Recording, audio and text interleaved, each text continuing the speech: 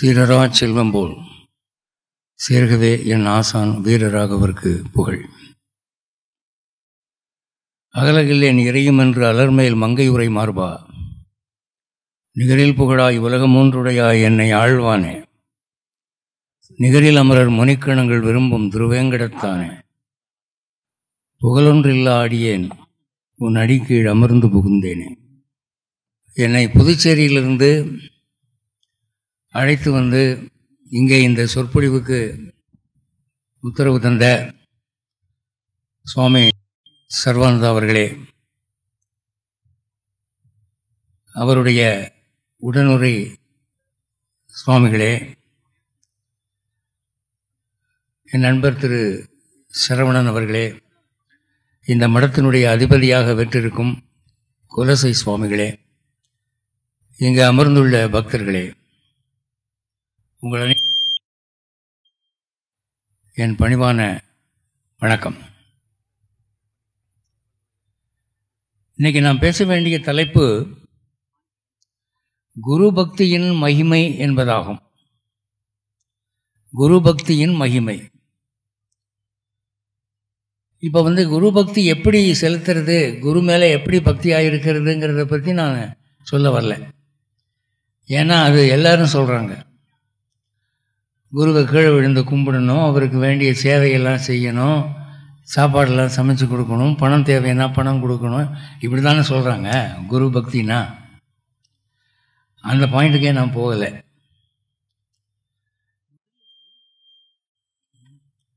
குரு முதல்ல நமக்கு தேவையா? இது கேள்வி. குரு எதற்காக? என்ற ஒரு கேள்விக்கு பதில் சொல்ல நான் முனைந்தால் ஒருவேளை இந்த சொற்பொழிவு நிறைவுள்ளதாக இருக்கும். இந்தியாவில் ஒரு விசேஷம் என்னென்னா இந்துக்கள் மட்டுமே குரு பக்திக்கு இவ்வளவு முக்கியத்துவம் கொடுக்குறார்கள். நீங்கள் அமெரிக்காவுக்கெல்லாம் போனீங்கன்னா வாத்தியார பையன் பேர் சொல்லி கூப்பிடுவோம் ஏய் வில்லியம் குட் மார்னிங் அப்படிமா அந்த ஆள் கோவிச்சுக்க மாட்டார். அவர் திரும்பி குட் மார்னிங்னு போவார். அங்கே ஆசிரியருக்கும் மாணவருக்கும் வேறுபாடு இல்லை. எந்த விதமான மரியாதையும் கிடையாது வாத்தியாருக்கு அதனால் என்ன ஆச்சு அப்படின்னா அவர்களுடைய ஆன்மீக கல்வி என்பது அடிமட்டத்திலேயே நின்று விட்டது. இங்கே தான் எது படித்தாலும் ஒரு குரு மூலம் படிக்கணும். அப்போ தான் வித்தை நிலைக்கும் அப்படின்னு ஒரு நம்பிக்கை.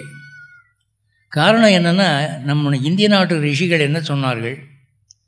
எந்த அறிவாக இருந்தாலும் சரி நீங்கள் சமையல் பண்ணுறதா இருந்தாலும் ரிக்ஷா ஓட்டுறதா இருந்தாலும் ஆட்டோ ஓட்டுறதா இருந்தாலும் துப்பாக்கி சுடுறதா இருந்தாலும் எந்த கலையாக இருந்தாலும் ஒருவர் சொல்லிக் கொடுக்க வேண்டும். அவரிடம் மாணவன் பணிவோடு பழக வேண்டும். அப்போ தான் அந்த விடை லபிக்கும். அப்போ அறிவு எந்த வகையான அறிவாக இருந்தாலும் அது இறைவன் கொடுத்த கொடை என்பது இந்த நாட்டு நம்பிக்கை. நீங்கள் மற்ற நாடுகளில் போனால் அறிவு என்பது புஸ்தகம் படித்தா வருவதுன்னு சொல்லுவாங்க. ஏதாவது கற்றுக்கணுன்னா உடனே லைப்ரரிக்கு போகிறாங்க அல்லது புக் ஷாப்புக்கு போகிறாங்க அது சம்மந்தப்பட்ட புத்தகத்தை வாங்கி படிக்கிறாங்க. ஆனால் அறிவு என்பது நூல்கள் தருவதல்ல. அறிவு என்பது இறைவன் தருவது. இறைவன் நேரில் தர்ற அளவுக்கு நாம் பெருமை உள்ளவர்கள் இல்லை அதனால் குரு என்ற ஒருவர் மூலமாக தருகிறார். அது ஒன்றாம் கிளாஸ் பாடமாக இருந்தாலும் சரி காலேஜ் பாடமாக இருந்தாலும் சரி இல்லை ஆத்ம ஞானமாக இருந்தாலும் சரி மோட்ச ஞானமாக இருந்தாலும் சரி. எதுவாக இருந்தாலும் ஒருவர் மூலமாய் வர வேண்டும். அந்த ஒருவர் வேறு யாரும் இல்லை கடவுளுடைய ஏஜெண்ட்டு தான். கடவுள் தான் அவருக்குள்ளே இருந்து அதை சொல்லித்தர்றாருன்னு நம்பணும். அப்போ தான் உங்களுக்கு அந்த வித்தை வரும். என்பது இந்திய நாட்டு கொள்கை இந்து மதத்தினுடைய கொள்கை. அதை ஒத்துக்கொள்ள மாட்டோம் என்று சொல்லுகிறவர்கள் தான் எனக்கு புத்தகம் இருந்தால் போதும்னு சொல்கிறாங்க சமைக்க கற்றுக்கிறவங்க சமைப்பது எப்படிங்கிற புஸ்தகத்தை வாங்குகிறாங்க அது பெரும்பாலும் பிளாட்ஃபார்மில் பழைய புஸ்தகமாக கிடைக்கும். அதில் பலவிதமான சமையல்கள் சொல்லித்தராங்க. அதை வாங்கிட்டு வந்து சமைச்சா சாப்பிட்றவன் கதி அதோ கதி தான் ஏன்னா அது அனுபவ கல்வி அல்ல. புஸ்தகத்தில் எழுதியிருக்கிறத பார்த்து பார்த்து செய்வாங்க. ஒரு டீஸ்பூன் உப்பு சேர்க்கவும் சேர்த்தாச்சு அடுத்து ஒரு டீஸ்பூன் மிளகாய்த்தூள் சேர்க்கவும் சேர்த்தாச்சு இப்படியே புஸ்தகத்தை பார்த்து பார்த்து சேர்த்து சேர்த்து கடைசியில் சாப்பிட்றவன் வாந்தி எடுக்கிறான். ஏண்டானா அனுபவபூர்வமாக இவ்வளவு அரிசிக்கு இவ்வளவுன்னு புஸ்தகத்தில் போட்டிருக்கே தவிர அது அதிகமாகணும்னா கூட அஞ்சு பேருக்கு சமைக்கணும்னா அல்லது குறைவாக அஞ்சு பேருக்கு சமைக்கணும்னா அதை பற்றி புஸ்தகம் சொல்லாது. அதை அனுபவத்திலே கற்றுக்கொண்டுகிறவர்கள் தான் நன்கு செய்வார்கள். வெளிநாடுகளில் இருக்கிற ஃபைவ் ஸ்டார் ஹோட்டல்ஸ் ரொம்ப பிரபலமான ஹோட்டல்களில் அங்கே இருக்கிற செஃப் சமயக்காரன் என்ன தெரியுமா சொல்கிறான் நாங்கள் எந்த நாட்டு சமையலையும் சமைச்சிருவோங்க. ஆனால் இந்தியாவில் தென்னாட்டு சமையலை மட்டும் சமைக்கிறதுக்கு எங்களுக்கு ரொம்ப கஷ்டமாக இருக்குது அவங்க சொன்னபடி தான் நாங்கள் செய்கிறோம் ஆனால் அந்த மாதிரி வர மாட்டேங்குது இட்லின்னு கேட்குறாங்க இட்லி எப்படி செய்கிறது அப்படின்னு சொல்லி இந்திய நாட்டில் கேட்டோம்னா அவங்க சொன்னபடி தான் நாங்கள் செஞ்சோம். ஆனால் இட்லியில் கை வச்சா கை உள்ளே போக மாட்டேங்குது. அது கல் மாதிரி இருக்காது. என்ன காரணம்னு தெரியல. தமிழ்நாட்டுக்கு வந்து பார்த்தா எல்லா வீட்லேயும் இட்லி ரொம்ப சாஃப்டாக இருக்குது அது என்ன காரணம்? இங்கே சமையல் கலையிலே நிபுணர்கள் பரம்பரை பரம்பரையாக தாய் குலத்திடமிருந்து கற்றுக்கொண்ட தாய்மார்கள். அனுபவத்தில் அவங்களுக்கு வர்ற படிப்பு புஸ்தக கல்வியில் வராது. அப்போது நம்ம இந்து மதத்தில் என்ன சொல்லுதுன்னா எதுவாக இருந்தாலும் குரு மூலமாக கற்க வேண்டும். சாதாரண கலையாக இருந்தாலும். எனக்கு இன்னமும் ஞாபகம் இருக்குது நான் பெங்களூரில் சட்டக்கல்லூரி மாணவனாக இருந்தபோது கால் செருப்பாக இருந்து போச்சு. வழக்கமாக நான் செருப்பு தைக்கிற ஒரு ஆள்கிட்ட போய் செருப்பை கொண்டு கொடுத்து நான் கொடுத்தா அங்கே ஆழை காணோம். அவனுடைய சாமான்லாம் இருக்குது ஆழை காணும். அக்கம் பக்கம் பார்த்தேன் ஒரு ரெண்டு நிமிஷத்தில் வந்தார். வந்த உடனே எங்கேயா போயிட்ட சாமான்லாம் போட்டுட்டுன்னு? கேட்டேன். இல்லைங்க நம்ம குரு இறந்து போயிட்டாரு. அவருக்கு அடக்கத்துக்காக போயிருந்தேன் அப்படின்னு. குருனா என்ன குருயா? அஞ்சாம் கிளாஸ் படித்த குருவா இல்லை எந்த குருன்னு கேட்டால் இந்த தொழில் கற்றுக் கொடுத்த குருங்க செருப்பு தைக்கிறது எப்படின்னு கற்றுக் கொடுத்த குரு அவர் தான் எனக்கு ஒரு வழியை காமிச்சு விட்டவர் அவருக்கு நான் ஒரு வழியை காட்ட வேணாமா சுடுகாட்டுக்கு? அதனால தான் அங்கே போயிட்டேன். இன்றைக்கி பகல் பூரா அங்கே தான் இருந்தேன். வந்தேன் சாமானை போட்டேன் செய்தி காதில் வந்தது உடனே போயிட்டேங்க அப்படின்னு. இந்த வாத்தியார் வேணால் நான் புஸ்தகம் வச்சே படிச்சுக்கிறேன்னு சொல்கிறவங்க இந்த குரு சம்பிரதாயத்தை வெறுக்கிறார்கள் மறுக்கிறார்கள். அதனால் இறைவனுடைய கோபத்துக்கு ஆளாகிறார்கள். அப்படி இல்லாமல் குரு மூலமாக படிக்கிறவனுடைய அட்வான்டேஜஸ் நன்மைகள் என்ன அப்படின்னா குரு இல்லாமல் நூலை படிக்கிறவர்களுக்கு அந்த கல்வி சீக்கிரம் மறந்து போகும். அடுத்து அந்த கல்வியினால் உலகியல் மேன்மைகள் அவங்களுக்கு கிடைக்காது. ஒருத்தன் படிக்கிறான் எம்ஏ படிக்கிறான்னா வேலை கிடைக்காது. ஒரு சங்கீதம் படிக்கிறான்னா அவனை கச்சேரி கூப்பிட மாட்டாங்க. அந்த குரு பக்தி இருக்கிறவன் தான் அந்த வாய்ப்பை பெறுகிறான். மதுரை சோமுன்னு கேள்விப்பட்டிருப்பீங்க. பிரபலமான ஒரு சங்கீத பாடகர். மருதமலை மாமணியே முருகையான்னு ஒரு பாட்டு பாடியிருக்கார். அவர் வந்து மதுரையில் நான் மதுரை தான் பிறந்து வளர்ந்தது. மதுரையில் ஒரு கோயில் கட்டியிருக்கார் ராஜராஜேஸ்வரி கோயில். அந்த கோவிலுக்கு வருஷம் ஒரு தடவை வந்து ராத்திரியில் கச்சேரி வைப்பார். ராத்திரி பத்து மணிக்கு ஆரம்பித்தார்னா விடிய காலம் ஆறு வரைக்கும் பாடுவார். அப்படி பாடிக்கிட்டு இருக்கிற போது அவர் மனோதர்மங்களில் இறங்குவார். ஆலாபனம் பண்ணும்போது அப்படியே ஒரு உச்ச ஸ்தாயிக்கு போய் சஞ்சாரம் பண்ணுவார். அப்படி பண்ணுற போது அவர் நினச்சதுக்கு மேலே ஒரு நல்ல ஒரு நிலைமையில் போய் அவர் ஒரு பிடி பிடிச்சிட்டாருன்னு வச்சுக்கோங்க. சபையில் வந்து ஒரு கைத்தட்டு கிடைக்குதுன்னா உடனே அவர் சொல்கிற வார்த்தை மைக்கில் அவர் சொல்வார் எல்லாருக்கும் காதல் விழுங்கும் குருநாதா அப்படிம்பார். அவருக்கு சொல்லி கொடுத்த குரு சித்தூர் சுப்பிரமணிய பிள்ளை. அவர் நினச்சிக்கிறார் இது குரு போட்ட பிச்சை.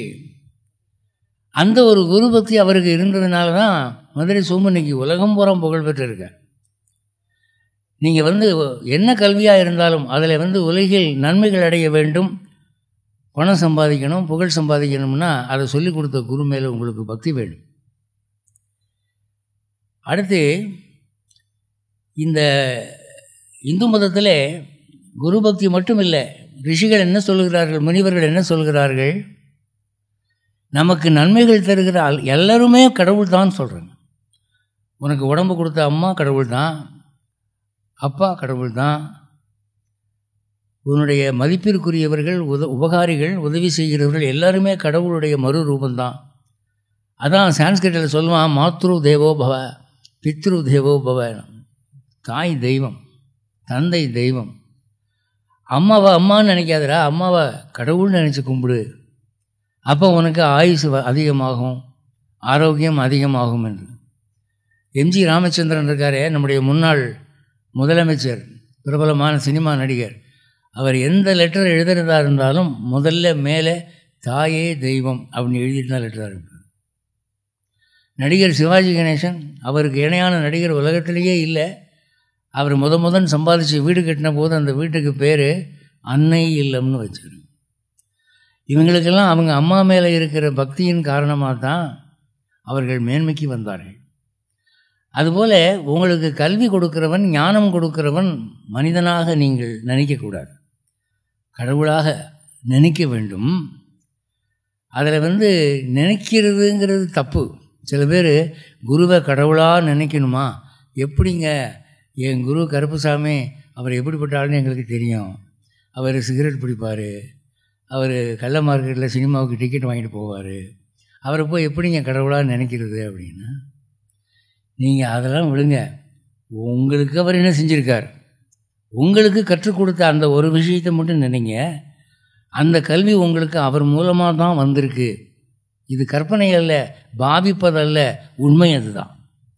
இப்போது நீங்கள் வந்து எனக்கு பசியாக இருக்குன்னு சொன்னால் ஒரு வேளை சாப்பாடு போடுறீங்கன்னா சாதாரண அறிவுள்ளவனாக நான் இருந்தால் என்ன நினைப்பேன்? நீங்கள் எனக்கு சாப்பாடு போடுறீங்கன்னு நினைப்பேன். ஆனால் உண்மையான அறிவு எனக்கு இருந்தால் நான் என்ன நினைப்பேன்? கடவுள் எனக்கு இவர் மூலமாக சாப்பாடு போடுறாருன்னு நினைப்பேன். எல்லாருக்குமே அதுதான் உண்மை. உங்களுக்கு சாப்பாடு கொடுக்குறது கடவுள் தான் இந்த உடம்பை கொடுத்தது கடவுள் தான் அறிவை கொடுத்தது கடவுள் தான் நீங்கள் அடையக்கூடிய நன்மைகள் எல்லாமே இறைவன் கொடுத்து தான் வருது. அதை ஒத்துக்கிறது தாங்க குரு பக்தி. ஒரு மனுஷனை போய் கடவுளாக எப்படி நினைக்கிறதுங்கிற கேள்விக்கு அங்கே இடமில்லை. உண்மை உணர்தல். ரியலைஸ் த ட்ரூத் அப்போது ஒரு நண்பர் சொல்லுவார் என்கிட்ட வந்து நான் ராமனை நேரில் பார்க்கணுங்க. உங்களை போல் ஒரு பெரிய மனுஷன் வந்து ஆசீர்வாதம் பண்ணால் நான் ராமனை பார்ப்பேன் அப்படின்னு. அப்போ நான் சொன்னேன் நானே ராமனை பார்த்தது இல்லையா என்கிட்ட வந்து ராமனை பார்க்குறதுக்கு வழி கேட்குறியா அப்படின்னு. இல்லைங்க நீங்கள் மனசு வச்சா முடியும்னு. அப்போ நான் சொன்னேன் நான் ஒரு வகையில் ராமனை பார்த்துருக்கேன். அதனால் எனக்கு திருப்தியாகி போச்சு. எனக்கு இனிமேல் ராமனை பார்க்கணுங்கிற ஆசை இல்லை அப்படின்னு. எப்போ பார்த்தீங்க? எங்கே பார்த்தீங்க? எப்படி இருந்தார்? சிகப்பாக இருந்தாரா? கருப்பாக இருந்தாரா? சொல்லுங்கள் அப்படின்னு. நான் சொன்னேன் என் குரு தான் எனக்கு ராமன். அவருடைய வடிவை ராமனுடைய வடிவாக நான் பார்க்கிறேன். நான் வேறு வடிவாக பார்க்கல. அதே மாதிரி உங்கள் குருவாக நீங்கள் ராமனாக நினச்சிட்டிங்கன்னா அதுவே போதுமே. இதுக்கு மேலே நீங்கள் கண்ணுக்கு தெரியாத ஒரு ராமனை நேரில் பார்க்க போகிறீங்களா பார்த்து என்ன விசேஷ நன்மை அடைய போகிறீங்க அப்படின்னு கேட்டேன். அவர் சலிச்சுக்கிட்டார். ஆமாம் போங்க. உங்ககிட்ட வந்தால் அப்படி தான் ட்ரையாக ஞானம் பேசுவீங்க. நான் ராமனை பார்க்கணுங்கிறேன். வில்லோடு பார்க்கணும். அப்படின்னா சாமி கும்பிடுங்க. அவராக வந்தால் பாருங்க அப்படின்னு. இப்போது குருதான் கடவுள் கடவுள்தான் குரு. குரு சாட்சாத் பரபிரம்மம். சம்ஸ்கிருதத்தில் சொல்லுவான் குருவுக்குள்ளே கடவுள் இருக்காருங்கிறது தப்புயா குருவே தான்யா கடவுள். அந்த மாதிரி நினைக்கக்கூடிய பக்குவம் உனக்கு வந்துருச்சுன்னா உனக்கு மிஞ்சின ஞானி யாரும் இல்லையா அப்படின்னு சொன்னாங்க. அதனால தான் விவேகானந்தர் வந்து ஒரு ஸ்டேட்மெண்ட் சொன்னார். அவர் வந்து வெளிநாடுகளில் புகழ் நாட்டை விட்டு இந்தியாவுக்கு வந்த உடனே இந்தியாவில் அப்போ சிலோன் வந்து இந்தியாவில் ஒரு நாடாக இருந்தது. வந்து நேராக கொ கொழும்பில் தான் இறங்கினார். கொழும்பிலிருந்து அவர் போன எல்லா ஊர்லேயும் அவரை பேச சொன்னாங்க. அவர் பேசின பேச்சுக்களை எல்லாம் தொகுத்து Vivekananda's lectures from Colombo to Almora என்று ஒரு நூலாக ராமகிருஷ்ண மடம் வெளியிட்டிருக்கிறது. அதில் ஒரு இடத்துல சொல்கிறாரு உங்கள் வெற்றியின் ரகசியம் என்ன என்று அனைவரும் கேட்கிறார்கள். என்னுடைய வெற்றியின் ரகசியம் என் குரு பக்தி தான். த குரு பக்தா வில் காங்கர் த வேர்ல்டு அப்படிங்கிறது குரு மீது பக்தி உள்ளவன் உலகையே கட்டி ஆழ்வான் அப்படின்னு. ஒரு தடவை யமுனை நதி ஓரமாக அவர் அமர்ந்திருந்த போது சாயந்தரம் ஆறு மணி கண்களை மூடி தியானத்தில் அமர்ந்திருந்தால் கொசுக்கடி. கொசுனா கொஞ்சம் நெஞ்சம் இல்லை. உடம்பு பூரா கொசு. அவர் முகத்தையே மூடி உடம்பையும் மூடி ஏதோ போர்வை போத்தின மாதிரி இருக்குது வெளியே இருந்து பார்க்குறவனுக்கு விவேகானந்தர் வடிவமே தெரியல. இப்போ நாம் வந்து ஒரு கொசு உட்காந்தா அதை விரட்டி விரட்டி அடிக்கிறோம். நம்ம என்ன வேலை பார்த்தாலும் அந்த கொசுவை கொன்ன பிறகு தான் அடுத்து நம்ம வேலைக்கு வருவோம். ஆனால் அவர் அத்தனாயிரம் கொசுக்களையும் சகித்து கொண்டு தியானத்தில் இருந்தார். அவருடைய சீடர்கள் அவர் தியானம் கலைந்து எழுந்த உடனே அப்படி என்னையா இவ்வளவு கொசுக்கடியை பொறுத்துக்கிட்டு என்ன தியானம் பண்ண? அப்படின்னா அவர் சொல்கிறார் நம்முடைய குரு ராமகிருஷ்ணனுடைய உருவத்தை தியானித்து கொண்டு இருந்தேன் அப்படியெல்லாம் நான் இருந்ததுனால தான் எனக்கு உலகத்தையே கலக்கக்கூடிய ஒரு அறிவும் தைரியமும் திறமையும் வந்தது. இன்றைக்கி உலகத்தில் எத்தனையோ சன்னியாசிகள் இருக்காங்களே விவேகானந்தருடைய ஃபோட்டோவை பார்க்குறீங்களே அந்த ஃபோட்டோவை பார்க்குற போது உங்களுக்கு என்ன தோணுது? என்ன கம்பீரம்? என்ன ஒரு ஞானராஜ கம்பீரம்? அவர் நிற்கிற தோரணையை பார்த்தா எவனாவது அவர்கிட்ட சண்டைக்கு போவானா? எவனாவது அவர்கிட்ட தர்க்கம் பண்ண போவானா? அப்படி ஆறாயிரம் பேர் கொண்டு அந்த சபையை அமெரிக்காவிலே ஒரு கலக்கு கலக்குனாரே அவர் சொல்கிறார் அந்த தைரியமும் அந்த ஞானமும் அறிவும் எனக்கு குருபக்தினால் தான் வந்தது அப்படின்னு சொல்கிறார் அப்போது இந்த குரு பக்தியை பற்றி நான் சார்ந்துள்ள வைணவத்திலே இருந்து சில சம்பவங்கள் சொல்லுகிறேன்.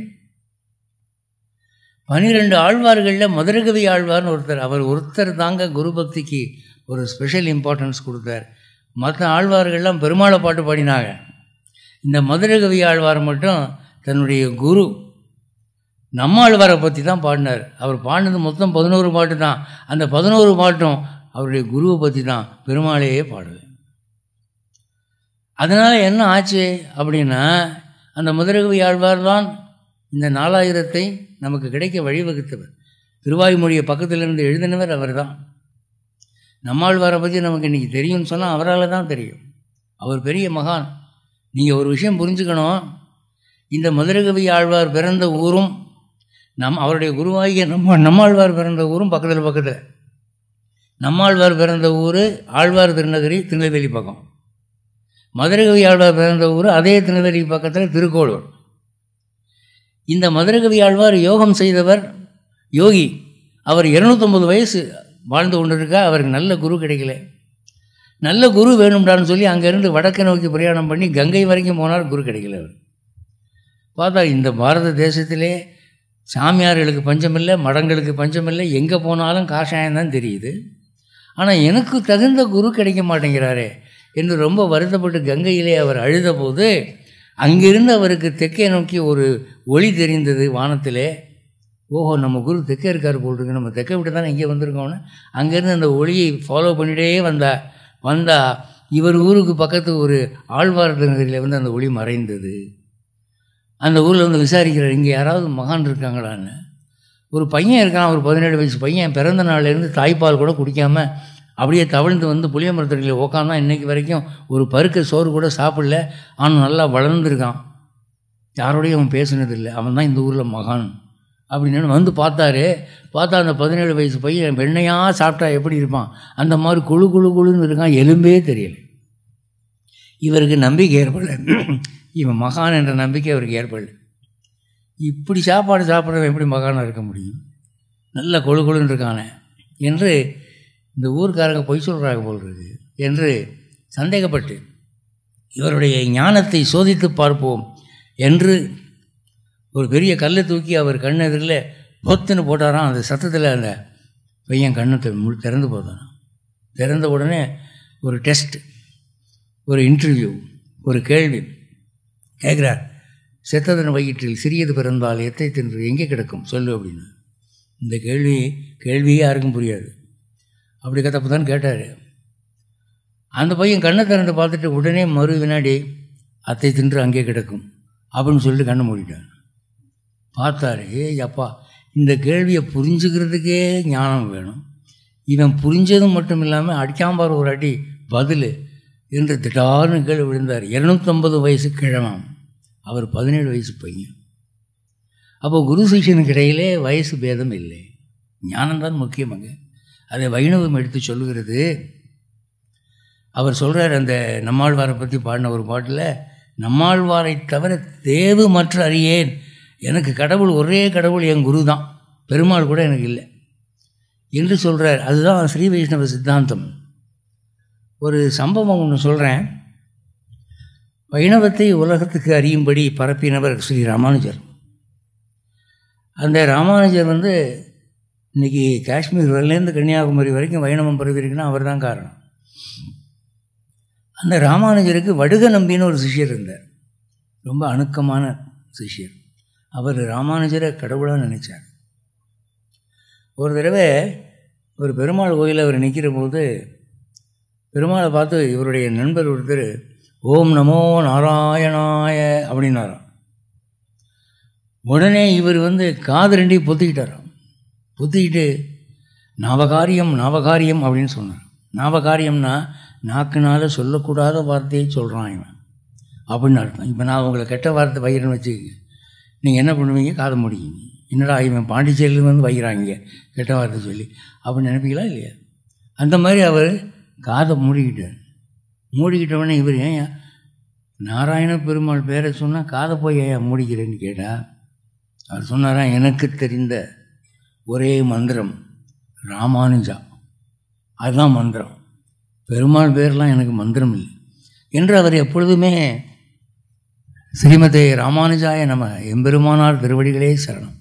ராமானுஜர் திருவடிகளே சரணம் என்று அப்படி சொல்லுவாராம் அவருடைய வாழ்க்கையில் ஒரு மாதிரி சம்பவம் பாருங்கள் ராமானுஜரும் இந்த வடுக நம்பியும் திருப்பதி போயிருக்காங்க. திருப்பதியில் முன்னே ராமானுஜர் நிற்கிறார் பின்ன இவர் நிற்கிறார். அப்போல்லாம் இந்த மாதிரி கியூ சிஸ்டம் கிடையாது. பஸ்ஸில் கூட்டம் நூறு நூறுரூவா போகாது. ஒரு ரெண்டு பேர் தான் போவான் ஏன்னா முதல்ல படிக்கட்டே இருக்காது. பஸ்ஸும் கிடையாது ரோடும் கிடையாது. ராமானுஜரும் வடுக நம்பியும் நடந்து போயிருக்கிறாங்க அங்கே. கூட்டம் இல்லை.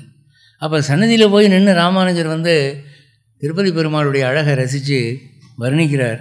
பின்னால் இருக்கிற வடுக நம்பியை பார்த்து சொல்கிறாரா நம்பி பாத்தியா அழகாக பாத்தியா? நெத்தி என்ன அழகு? மூக்கு என்ன அழகு? அவர் தோல் பார்த்தியா என்ன அழகாக இருக்குது மார்பு பார்த்தியா என்ன அகலமாக இருக்குது நிற்கிற கம்பீரம் பார்த்தியா அப்படின்னு கேட்குறார் கேட்கும்போது அவர் முன்னே பார்த்துக்கிட்டு கேட்குறார் வடுக நம்பி பின்ன நிற்கிறார் அப்போ வடுக நம்பி அவர் சொல்ல சொல்ல ஆமாம் ஆமாம் ஆமான்னுட்டே இருக்கார். ராமானுஜருக்கு ஒரு சந்தேகம். இவன் நான் சொல்கிறதுக்கு தான் ஆமாம் போடுறானா? இல்லை சும்மா மெக்கானிக்கலாக ஆமாங்கிறானான்ட்டு லேசாக திரும்பி பார்த்தார். திரும்பி பார்த்தா இவர் ராமானுஜரை பார்த்து ஆமா ஆமான்னுக்கிட்டு இருக்கார். நெத்தியை பார்த்தியானா ராமானுஜர் நெத்தியை பார்த்து சொல்கிற ராமா நெத்தி அழகாக தான் இருக்குது. மூக்கை பார்த்தியா பெருமாள் மூக்கானா ராமானுஜரை பார்த்து ஆமாம் மூக்கு நல்லா தான் இருக்குது. அப்படின்னு தன் குருவை வர்ணிக்கிறார் இவர். ஏய் அங்கே பாடுறா அப்படின்னா சாமி நான் எதுக்கு சாமி அங்கே பார்க்கணும்? அவர் உங்கள் பெருமாள் நீங்கள் ஏன் பெருமாள்? நான் உங்களை தான் பார்ப்பேன் அப்படின்னா.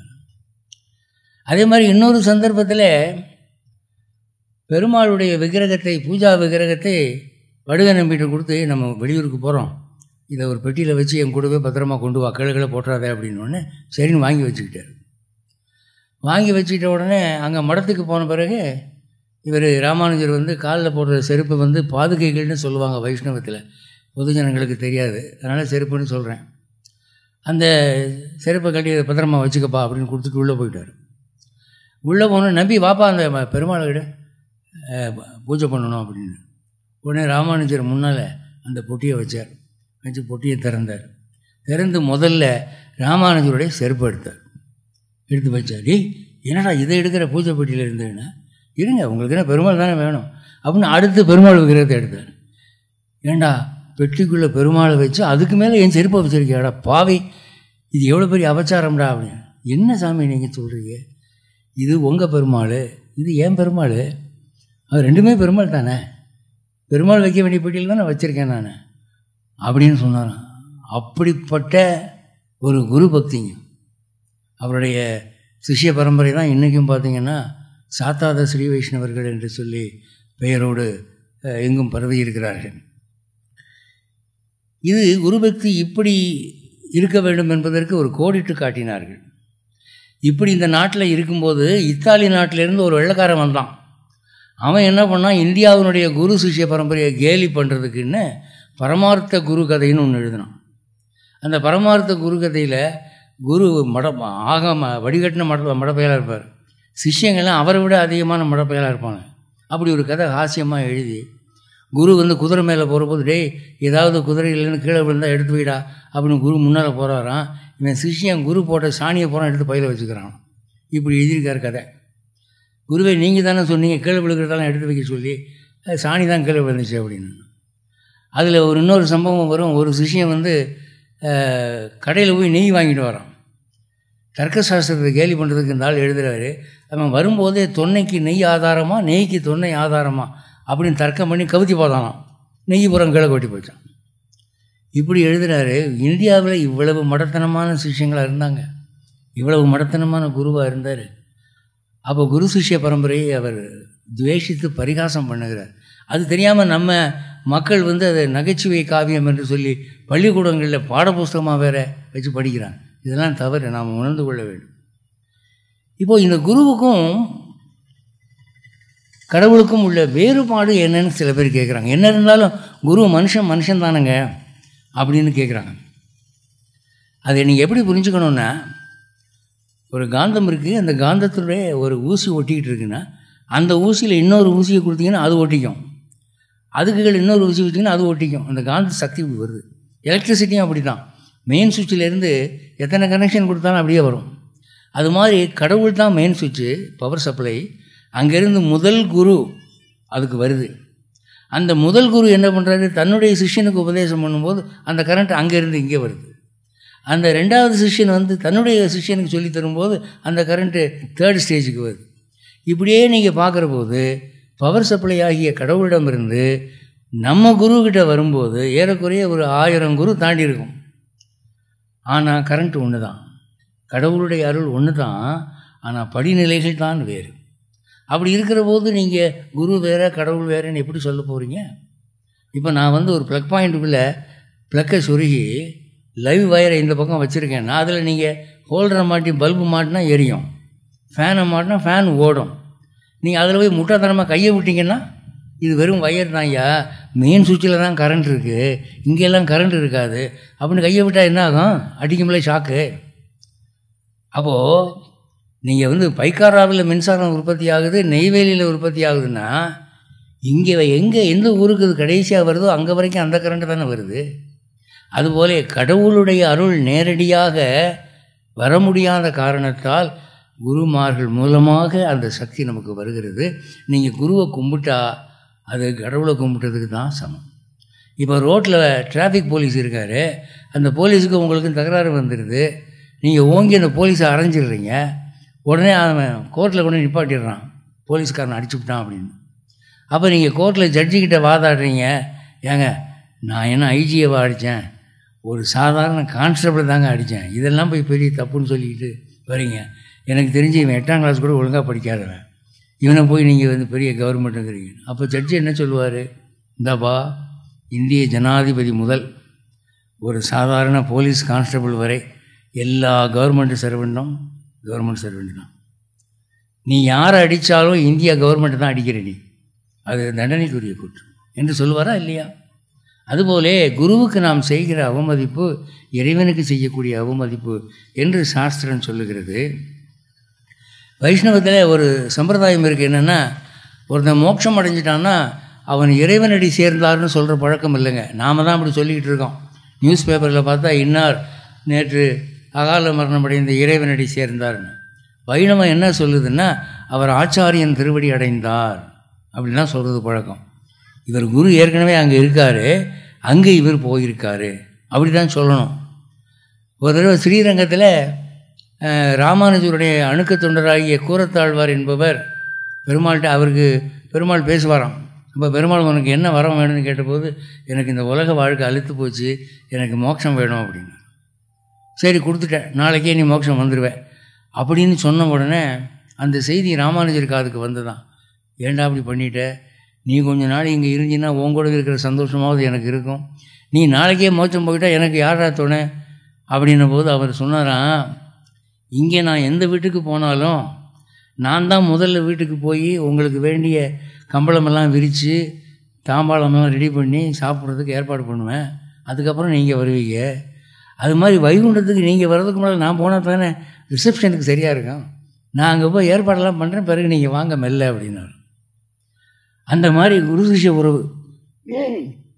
எவ்வளவு காலமானாலும் குரு கடவுள் கடவுள் தான் என்று நினைத்தவர் அவர். அது வைணவத்திலே உள்ளும் புறமும் பார்க்கலாம். இப்போங்க ஒரு எதிர்மறையான பகுதிக்கு வர்றேன். இதுவரைக்கும் குருவை பற்றி புகழ்ந்து உடன்பாடான சாதகமான கருத்துக்கள் பேசினேன். இப்போ நான் எதிர்மறையான கருத்துக்களுக்கு வரப்போகிறேன் இது தர்க்கத்துக்குரிய சமாச்சாரம். அது என்ன அப்படின்னா இன்றைக்கி பிரபலமாக நாட்டில் ஒரு வாதம் சொல்லப்படுகிறது. அது என்னன்னா பக்தனுக்கும் பகவானுக்கும் இடையிலே புரோக்கர்கள் தேவையில்லை. இப்போ கல்யாணம் பண்ணுறதுக்கு புரோக்கர் வேண்டியிருக்குங்க. ஒரு மாடு விற்கிறதுக்கு புரோக்கர் வேணும். நிலம் விற்கிறதுக்கு புரோக்கர் வேணும். வீடு வாடகைக்கு வைக்கணும்னா புரோக்கர் வேணும். கடவுள்கிட்ட போகிறதுக்கு என்னத்துங்க புரோக்கர்? இந்த குரு குருன்னு சொல்லிட்டு இருக்காங்களே எதுக்கு இந்த சாமியார் பயில் இவங்க அடிக்கிற லூட்டி தாங்க முடியல? சாமியார் பயிலுக்கு அடிக்கிற லூட்டி பத்திரிகையில் எப்படியெல்லாம் செய்தி வருது? நான் கேட்குறேன் ஒரு கடவுளுக்கும் அவனால் படைக்கப்பட்ட மகனாகிய ஒரு பக்தனுக்கும் இடையில புரோக்கர் எதுக்கு? இந்த குரு எதுக்கு தேவையில்லைங்கிறது. அப்படின்னு ஒரு வாதம் இன்னைக்கு ரொம்ப ஸ்ட்ராங்காக பேசுகிறாங்க எப்போ பேசுகிறாங்கன்னா கொஞ்ச நாளைக்கு முன்னாலேருந்து இந்த சுவாமி பிரேமானந்தா இந்த ஆனந்தான்னு சொல்லி கலகம் பண்ணி ஜெயிலில் போய் உட்காந்தாங்கல்ல அதுக்கப்புறம் இந்த மாதிரி ஒரு வாதம் நன்கு உயிர் பெற்று எழுந்து விட்டது. பக்தனுக்கும் பகவானுக்கும் இடையில் புரோக்கர்கள் தேவையில்லை இந்த குருமார்கள் தேவையில்லை. இப்போ இந்த வாதத்தை நாம் எதிர்கொள்ள வேண்டும் இல்லையா? ஏன்னா நாமெல்லாம் குரு பக்தியில் நம்பிக்கை உள்ள ஜனங்கள். அதுக்கு என்ன காரணம் என்றால் ஒரு பத்து பதினோரு வாதங்கள் முன் வைக்கிறேன். அதை நீங்கள் கேட்டால் மட்டும் பத்தாது. அதை நீங்கள் மனசில் உள்வாங்கி கொள்ள வேண்டும். ஏன்னா உங்களுக்கு நாளைக்கு இந்த பிரச்சனை வரும்போது அதை நீங்கள் சந்திக்க வேணும் ஆனால் இப்போ நீங்கள் நான் இப்போ நான் பேசுகிற பேச்சு வந்து என்னுடைய யூடியூப் சேனலில் யூடியூப்பில் லெக்சராக வரும். இன்னும் ரெண்டு நாளில் வரும். அதில் கூட பார்க்கலாம். அதோட ஒரு சின்ன விஷயம் நான் வந்து டெய்லி இன்டர்நெட்டில் மூணு மணிக்கு ரெண்டு நிமிஷம் பேசுகிறேன் இலவசம்தான். காசு காசெல்லாம் ஒன்றும் கிடையாது. நான் சொல்கிற நம்பரை குறித்து வச்சுக்கிட்டு அந்த நம்பருக்கு என்னை சேர்த்துக்குங்க நீங்கள் அனுப்புனீங்கன்னா டெய்லி உங்களுக்கு ரெண்டு நிமிஷம் என்னுடைய பேச்சு வரும். நம்பர் வந்து seven seven zero eight seven zero five seven zero six. ஏழு ஏழு சைஃபர் எட்டு ஏழு சைஃபர் அஞ்சு ஏழு சைஃபர் ஆறு. என் பேராலே ஒரு யூடியூப் இருக்குது YouTube channel TA Joseph dot காம்னு அதில் நானூறு ஐநூறு சொற்பொழிவு என்னுடைய சொற்பொழிவு இருக்குது இதை வந்து இங்கிலீஷில் என்னுடைய பேச்சு வேணும்னா ரிஷி தர்மா ஃபவுண்டேஷனுக்கு போனீங்கன்னா என்னுடைய ஆங்கில சொற்பொழிவுகள் நீங்கள் பார்க்கலாம். வெப்சைட் வந்து W W W TA Joseph dot com அதில் போனீங்கன்னா நாம் நிரந்தரமாக ஒரு தொடர்புலேயே இருக்கலாம். சரி இப்போது நான் சொன்ன வாதங்களுக்கு பத்து எதிர்வாதங்கள் சொல்ல போகிறேன். முதல்ல முதல் வாதம் என்னென்னா இறைவன் பரிபூர்ணமானவன் அவன் குறைபாடுகள் இல்லாதவன். An எம்பாடிமெண்ட் ஆஃப் பெர்ஃபெக்ஷன் அவங்ககிட்ட குறையே கிடையாது. எதுலேயுமே குறை கிடையாது. அறிவிலோ அழகிலோ ஆயுளிலோ ஆற்றலிலோ கருணையிலோ எதிலும் குறையில்லை ஆனால் நம்ம எடுத்துக்கிட்டிங்கன்னா எம்பாடிமெண்ட் ஆஃப் இம்பெர்ஃபெக்ஷன்ஸ் குறைபாடுகளின் மொத்த உருவம். நம்மக்கிட்ட ஏதாவது நிறைவாக இருக்கா? ஒரு லட்சணம் ஒரு கண்ணாடி முன்னால் போய் நின்று உங்கள் தோற்றத்தை பார்த்தாலே தெரியும். நம்ம உருவம் எவ்வளவு குறைபாடு உள்ளதாக இருக்கிறது. அப்படின்னு. அதை தான் வந்து சாமுதிரிகா சாமுத்திரிகா லட்சணம் என்று சொல்லுவார்கள். நீங்கள் சாமுத்திரிகா லட்சணம் படிச்சீங்கன்னா நீங்கள் கோவில் சிற்பங்கள் பா கோயிலில் போய் ராமர் விக்கிரகம் பாருங்கள் அந்த மூக்கு எப்படி இருக்குது அந்த கண் எப்படி இருக்குது காது எப்படி இருக்குது அதெல்லாம் பார்த்து உங்கள் முகத்தையும் கண்ணாடியில் போய் பார்த்தீங்கன்னா ஒன்று கூட அந்த மாதிரி இல்லைன்னு தெரியும். முப்பத்தி ரெண்டு லட்சணம் என்ன? ஒரு லட்சணம் கூட நமக்கு இல்லைன்னு இருக்கும். குறைகள் நிறைந்தவர்கள். நமக்கு அறிவு குறைதான். குணம் குறைவு தான் ஆற்றல் குறைவு தான் எல்லாமே குறைவு. அப்போ குறைபாடுகள் நிறைந்த ஒரு ஆத்மா நிறைதலே வடிவான ஒரு இறைவனோடு தொடர்பு கொள்ள வேண்டுமானால் ஒரு மீடியேட்டர் வேணுமில்ல. இப்போ ஒரு போலீஸ் டிஜிபி இருக்கார் டைரக்டர் ஜென்ரல் ஆஃப் போலீஸ் ஒரு எஸ்ஐயை பார்த்தாலே போலீஸ் ஸ்டேஷனில் பயமாக இருக்குது போனாலே அவர் ஆரியானி அப்படிங்கிறாரு. எஸ்ஐக்கு மேலே இன்ஸ்பெக்டரு அவருக்கு மேலே எஸ்பி அவருக்கு மேலே அப்படியே ஒவ்வொரு அதிகாரி போய் ஐஜி அதுக்கு மேலே டிஜிபி வருது. அவங்களாம் நம்ம போய் பார்க்க முடியுமா? இல்லை கை குலுக்க முடியுமா? என்ன சார் எப்படி இருக்கிறீங்க? எந்த ஊர் நீங்கள் உங்கள் பேர் என்ன? அப்படின்னு கேட்ட முடியுமா போய்? யாரா பேர். அப்போ நம்ம அவரை போய் பார்க்கணுன்னா என்ன பண்ணணும்? நம்ம மாமா ஒருத்தர் எஸ்ஐயாக இருப்பார் மாமா கொஞ்சம் ஒரு சந்திப்புக்கு ஏற்பாடு பண்ணுங்க ஏய் அவர்கிட்ட போனால் எனக்கே கால் நடுங்கும். நீ வந்து அவர்கிட்ட போய் கூட்டிகிட்டு போக சொல்கிறியா முடியாது அப்படின்னு அப்போ நான் என்ன தான் பண்ணுறதுன்னா எனக்கு எஸ்பி ஒருத்தர் தெரியும் அவரை அறிமுகப்படுத்தி வைக்கிறேன். அவர் வேணால் கூட்டிகிட்டு போவாருன்னு. அவருக்கு கால் நடுங்குமான்னு அது அவரை தான் போய் கேட்கணும் அப்படின்னு. அப்படியாக உங்களுக்கு டிஜிபியை பார்க்கணும்னா நமக்கு இடையில ஒரு ஆள் இருந்தால் தானே போய் சௌஜன்யமாக பேச முடியுது. அங்கே போய் இவர் அறிமுகப்படுத்தி இவர் எஸ்பி என்ன பண்ணுவார்? அங்கே போய் டிஜிபி கிட்டே போய் போனவுடனே அட்டென்ஷன் சிரிக்கடிச்சு நிற்பார் நான் அப்படின்னு கேட்பார் அவர். இவர் உங்களை பார்க்கணுமா? பார்க்கணுமா? ஏன்? எதுக்கு? யார் இவர்? அப்படின்னு கேட்குற போது இவன் கழிய ஆரம்பிச்சிருவான். உன் பேர் என்னையா எந்த ஊர் ஏன்னா உதர் நின்று ஒட்டிக்கும். நான் பேசலாம்னு தாங்க வந்தேன். இங்கே பேச்சு வரமாட்டேங்குதுங்க அப்படின்னு. அப்போ ஒரு மீடியேட்டர் வச்சுட்டு போகிற போதே நமக்கு பெரிய அதிகாரிகளை பார்த்தா உதறுது. அப்போ நான் நேரடியாக போகிறேன்னு சொன்னேன் எப்படி? அப்போது இறைவன் என்ற ஒரு நிறைபாடுகள் உறைந்த தத்துவத்தை குறைபாடுகளே வடிவாய் இருக்கக்கூடிய நாம் சென்று அணுகுவதானால் ஏற்கனவே அவரை பற்றி அறிந்த அவர் அருள் பெற்ற ஒருவருடைய சிபாரிசு வேணும். இல்லாட்டி எப்படி முடியும்? அதனால் புரோக்கர் தேவையில்லை புரோக்கர் தேவையில்லைன்றாங்கல்ல அந்த வார்த்தையை தூக்கி எறிங்கப்பா. புரோக்கருங்கிற ஆபாசமான வார்த்தையாக இருக்குது ஏன்னா பலதுக்கும் புரோக்கர் இருக்கான் மாட்டுக்கும் புரோக்கர் இருக்கான் இன்னும் எது எதுக்கோ புரோக்கர் இருக்கான் அதெல்லாம் சொன்ன அசிங்கம். அப்படி இருக்கிற போது இந்த வார்த்தையை எதுக்கு நீங்கள் யூஸ் பண்ணுறீங்க குரு வந்து புரோக்கர் இல்லை. அவர் வந்து ஒரு புருஷஹாரர் வைணவத்தில் சொல்லுவான் புருஷஹாரர் என்று சொல்லுவார் சிபாரிசு பண்ணுறது அது முதல் பாயிண்ட்டுங்க ரெண்டாவது பகவான் வந்து சாஸ்திரங்கள் மூலமாக என்ன செய்ய வேண்டும் என்ன செய்யக்கூடாதுன்னு நமக்கு சட்டங்கள் கொடுத்துருக்கார். அந்த சட்டங்களை நமக்கு எடுத்து விளக்கிறதுக்கு ஒரு ஆள் வேணும் இல்லையா இப்போது நமக்கு இந்திய நாட்டு சட்டம் இருக்குது ஐபிசி இருக்குது அந்த சட்டப்படி இன்னது செய்யலாம் இன்னது செய்யக்கூடாதுங்கிறத நாம் நேரடியாக படித்து தெரிஞ்சுக்க முடியாதுல்ல ஒரு லாயர் மூலமாக தானே தெரிஞ்சுக்க வேண்டியிருக்கு. இப்போது நீங்கள் வந்து ஒரு வீட்டை வாங்குறீங்க அது வந்து புறம்போக்கு நிலமாக இருக்குது அதை வாங்கலாமா வேணாமாங்கிறது சட்டம் பிடிச்ச ஒருத்தர்கிட்ட போய் கேட்கணும். அவர் சொல்லுவார் பத்திரம் இருக்கா அதுக்கு? தாய் பத்திரம் இருக்கா? ரெஜிஸ்ட்ரேஷன் பண்ண முடியுமா? அப்படின்னு நாலு கேள்வி கேட்பார். கேட்டுட்டு இது வாங்கலாம் வாங்கக்கூடாதுன்னு சொல்லுவார். அது மாதிரி இறைவனுடைய ஆணைகளை சாஸ்திரங்களின் வடிவாக நாம் புரிந்து கொள்ள வேண்டுமானால் அதை விளக்கி சொல்ல ஒரு குரு வேண்டும். அவர் அவருடைய குருக்கிட்ட படிச்சிருப்பார். அது ரெண்டாவது பாயிண்ட் மூணாவது எந்த ஞான மார்க்கத்திலும் ரகசியங்கள் இருக்குதுங்க. சீக்ரெட்ஸ்ன்னு சொல்லுவாங்க. சீக்ரெட்டுன்னு சொன்னால் அதை எல்லோரும் சொல்லித்தர மாட்டாங்க. ஒரு குரு வந்து பொதுவில் எல்லாருக்கும் சொல்லி சொல்லித்தருவார் பாடங்களை. சில ரகசியமான விஷயங்களை அந்தரங்கமான சிஷியர்களுக்கு மட்டும் சொல்லிக் கொடுப்பார். அதான் ஜப்பானில் சொல்லுவாங்க கராத்தே சொல்லி கொடுத்துக்கிட்டு வரான் குரு கராத்தேன்னா உங்களுக்கு தெரியும் இல்லையா? சும்மா கையால் அடிக்கிற அடி. சினிமாவில் அடிக்கிறாங்களே அது. அப்போது அந்த சீடர்கள் எல்லாம் வந்து குருக்கிட்ட ஒரு மூணு வருஷம் பாடம் படித்தாங்க அவர் சரி நீங்கள் தகுதி பெற்று விட்டீர்கள். நீங்கள் போய் கராத்தே செயல்படுத்துங்கன்னு அனுப்பிச்சிட்டார்.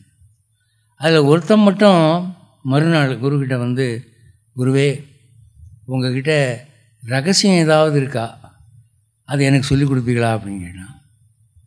இந்த மாதிரி ஆசையாக கேட்குறவனுக்கு சொல்லிக் கொடுப்பேன். மற்றவனுக்கு சொல்லி தரமாட்டேன் மாட்டேன். போயிட்டாங்கல்ல எல்லாம்? நேற்று எவனாவது வந்தானா? நீ ஒருத்தன் தான் வந்தேன். உனக்கு நான் சொல்லிக் கொடுக்குறேன் அப்படின்னு. என்ன ரகசியம் சார்? அவர் சொன்னார் எதிரி ரொம்ப கெடுபிடியான ஆளாக இருக்கான்னு வச்சுக்குவோம் பலசாலியாக இருக்கிறான். அவனை சமாளிக்க முடியல. என்ன பண்ணுவ? அவனை போட்டு தள்ளுறதான் வழி. போட்டு தள்ளுறதுனா கராத்தையில் வந்து கத்திக்கு வேலை இல்லை. ஆயுதத்துக்கு வேலை இல்லை. கையை வச்சு தான் சண்டை. கராத்தேங்கிற வார்த்தைக்கு என்ன அர்த்தம்? ஜப்பானிய மொழியில் வெறுங்கைன்னு அர்த்தம். வெறுங்கையால் போடுற சண்டை. அப்போது ஒரே அடியில் உயிரை காலி பண்ணுறது எப்படி? அது உனக்கு நான் சொல்லித்தரேன் அப்படின்னு இந்த கழுத்துக்கு கீழே வலது பக்கம் தோள்பட்டையில் தோள்பட்டை மசில் தசைக்கு கீழே ஒரு அங்கம் தள்ளி இந்த இடத்துல ஒரு நரம்பு இருக்குது அது ஜீவ நரம்பு. அங்கே நீ கரெக்டாக போட்டின்னா உடனே உயிர் போயிடும். அதை நான் வந்து உனக்கு மெல்ல அடித்து காட்டுறேன் உன் முதுகில். அதை பிக்கப் பண்ணிக்கோ அப்படின்னு சொல்லி முதுகை திரும்ப சொல்லி அடித்து காமிச்சார். தெரியுதா அந்த இடம் எதுன்னு? தெரியுதுன்னு நினைக்கிறேன். இன்னொரு தடவை செய்யுங்க அப்படின்னு. இன்னொரு தடவை செஞ்சார். ஆ இப்போ புரியுது. உனக்கு புரியுதாங்கிறது எனக்கு எப்படி தெரியும்? நீ என் முதுகில் அடித்து காட்டு அப்படின்னு. அவன் அடித்தான் ஒரு அடி அவர் செத்தே போயிட்டார் குரு. அந்த சிஷியனுக்கு அந்த வித்தை அவ்வளோ ஈஸியாக வந்துருச்சு. அப்போ இந்த மாதிரி ரகசியங்கள் குருக்கிட்ட தாங்க கற்றுக்க முடியும். புஸ்தகத்தில் கற்றுக்க முடியாது. புஸ்தகத்தில் எழுத மாட்டாங்க சொல்ல மாட்டாங்க. அதான் இந்த கம்பரை பற்றி கேள்விப்பட்டிருப்பீங்க. அருட்கவி வாயை திறந்தால் பாட்டு சும்மா சரமாரியாக வரும். ஒரு நாளைக்கு கம்பராமாயணம் எழுதுகிற போது எழுநூறு பாட்டு எழுதுவாராம். அப்பேற்பட்ட அருட்கவி. அவர் ஆளு பார்க்க அழகாக இருப்பாருங்க. அந்த அழகு தான் அவர் மகன் அம்பிகாபதிக்கு வந்து ராஜா மக அவன் மேலே ஆசைப்பட்டான். அந்த அழகை பார்த்து அந்த அரண்மனை தாசி கணிகை ஆசைப்பட்டான். அதனால் வந்து என்ன பண்ணினா ரகசியமாக மூவ் பண்ணி பார்த்தா நம்ம ரெண்டு பேரும் கல்யாணம் பண்ணிக்கலாமே. அவர் சொன்னார் ஏமா நான் ஆஸ்தான வித்வான்மா. நான் ராமாயணம் எழுதுகிற புலவன் நீ தாசி. உன்னை எப்படி நான் கல்யாணம் பண்ணிக்க முடியும்? வேணான்ட்டார். இவளுக்கு ஆசை. சரி எப்படியாவது இவனை கெடுத்து கலாட்டா பண்ணி கல்யாணம் பண்ணியே ஆகிறது. அப்படின்னு சொல்லி ஒரு நாள் இவர் அரண்மனையை விட்டு வெளியே போய்கிட்டு இருக்கிற போது இவர் இந்த தாசி விட்டு வெளியே தான் போகணும். இவ காத்திருந்தா. நம்ம வீட்டுக்கு முன்னால் வந்துட்டாருன்னு தெரிஞ்ச உடனே வேலைக்காரியை கூப்பிட்டு அந்த ஆளை உள்ளே கூட்டிட்டு வா அப்படின்னு. உள்ளே அம்மா கூப்பிட்றாங்கன்னொடனே அவருக்கு அம்மானோடனே யாருன்னு தெரியல. இது யார் வீடுன்னு அவருக்கு தெரியாது. எந்த அம்மான்னு உள்ளே வாங்க அப்படின்னு. உள்ளே போனால் இவன் நிர்வாணமாக நிற்கிறான் வந்து ஒரே கட்டி பிடிச்சிட்டான். கட்டி பிடிச்சி இவன் சாட்சி நம்ம ரெண்டு பேரும் ஒன்றா இருக்கோம். நாளைக்கு ஒழுங்காக கல்யாணம் பண்ணிக்கிறேன். இல்லை ராஜா கிட்ட சொல்லுவேன். அப்படின்னு சொல்லிக்க போ அப்படின்ட்டு உதறி விட்டு வீட்டுக்கு போயிட்டார். மறுநாள் ராஜா கிட்ட வந்துட்டான். இந்த மாதிரி பண்ணிவிட்டார் உங்கள் ஆஸ்தான புலவர். ஒழுங்காக கல்யாணம் பண்ணிக்க சொல்லுங்கள் என்ன. கெடுத்து விட்டார் நேற்று நீ அதுக்கு சாட்சி என் வீட்டு வேலைக்காரி தான் அப்படின்னு. அப்போ இல்லை. அப்படின்ன உடனே இல்லை தானே கெடுக்கலை தானே? அவள் கேட்குறா தாசி இந்த ஓலையில் நான் ஒன்று எழுதி தரேன். அதில் கையெழுத்து போடணும். என்ன எழுதி கொடுக்குறேன் அப்படின்னா நேற்று இவர் வாயால் சொன்ன ஒரு வார்த்தை அதை நான் எழுதியிருக்கேன் இதில். என்னன்னா தாசி பொன்னிக்கு கம்பன் அடிமை. இது நேற்று சொன்னாருங்க வந்து என்கிட்ட. அதை எழுதியிருக்கிறேன். இது சொன்னாரா இல்லையா? கையெழுத்து போட சொல்லுங்க அப்படின்னு. கம்பர் வாங்கி பார்த்தார். ராஜா வாங்கி பார்த்தார். யோ என்னையா இது? அவள் பேர் பொன்னி. தாசி பொன்னிக்கு கம்பன் அடிமைன்னு எழுதியிருக்கு அப்படின்னு. அதை கொண்டாங்க அப்படின்னு. கொடுத்தவனே கையெழுத்து போட்டார். என்ன இப்படி கையெழுத்து போடுறீங்கன்னா? இது உண்மை தான் அப்படின்னு. ஏய் என்னய்யா நம்ம ராஜசபை மானமே போகுதியா? நீ யார்? ஏன் என்னுடைய ஆஸ்தான வைத்துவான் நீ வந்து தாசி பொன்னிக்கு அடிமைன்னு கேட்டு போடுறியண்ணா அந்த விஷயம் அப்புறம் சொல்கிறேன் இவளை முதல்ல போக சொல்லுங்கள் சரிம்மா கையெழுத்து போட்டார்ல. நீ வீட்டுக்கு போய் இனிமேல் கலெக்ட் பண்ணாதீங்க. இது ராஜசபை. அவள் போயிட்டான் அவளுக்கு திருப்தி. கையெழுத்து வாங்கியாச்சு இல்லை இனிமே என்ன? அப்படின்னு. எல்லாம் போன பிறகு இவர் வந்து ஓய் என்னய்யா இது? ஒரே கூத்தா இருக்குது அப்படின்னோடனே நான் என்ன எழுதியிருக்கிறேன்? தாசி பொன்னிக்கு கம்பன் அடிமை. முதல் வார்த்தை தாய் என்பது கடைக்குறையாக தான்னு வந்திருக்கு. தாய்ங்கிறத பாட்டில் கடைக்குறை ஒரு எழுத்து போக முதல் எழுத்து மட்டும் எழுதுறது பழக்கம் உண்டு. அரங்கன்கிறத ரங்கன் எழுதுவாங்கல்ல ஆணாவை விட்டுட்டு அது மாதிரி தா. அடுத்தது சீங்கிறது ஸ்ரீ என்ற வட சொல்லுடைய தமிழ் வடிவம். தாய் ஸ்ரீ அதாவது தாயாகிய மகாலட்சுமி. பொன்னி பொன்னிங்கிறது அவள் பேர். தாய் ஸ்ரீ பொன்னிக்கு கம்பன் அடிமை நான் மகாலட்சுமிக்கு அடிமை. அதான் எழுதினேன். இதில் என்ன தப்பு? நீங்கள் எந்த கோர்ட்டில் வேணால் கொண்டு போங்க அப்படின்ட்டேன். உடனே அவர் ராஜா ரொம்ப சிரித்து தாம்பாளம் நிறைய பொற்காசுகளை கொட்டி கொடுத்தார் என்று சரித்திரம் சொல்லும் ஏன்னா மொழியில் நுட்பங்கள் இதெல்லாம் ரகசியமாக புலவர்கிட்ட கற்றுக்கணும் சும்மா வந்து ஒரு நூல் எடுத்து படிக்கிறதுனால வராது.